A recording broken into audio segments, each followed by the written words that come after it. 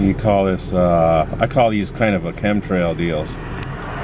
Not a natural sun, and it's not a natural sunset. Uh, these clouds are not natural. They're manipulated. I don't know how they do it, but you can see the trails coming off. There's so much crap in the atmosphere that you can see uh, shadows off of all the clouds. You know, you can see shadows going back all the way from all the clouds. I mean, there's, uh, there, you know, they may say it's pollution from China. They may say all kinds of stuff. It doesn't matter what they tell you.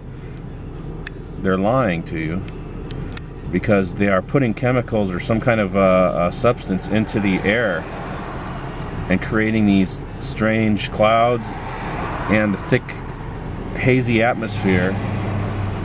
And I don't think you're going to see much blue sky anymore, at least not for much longer.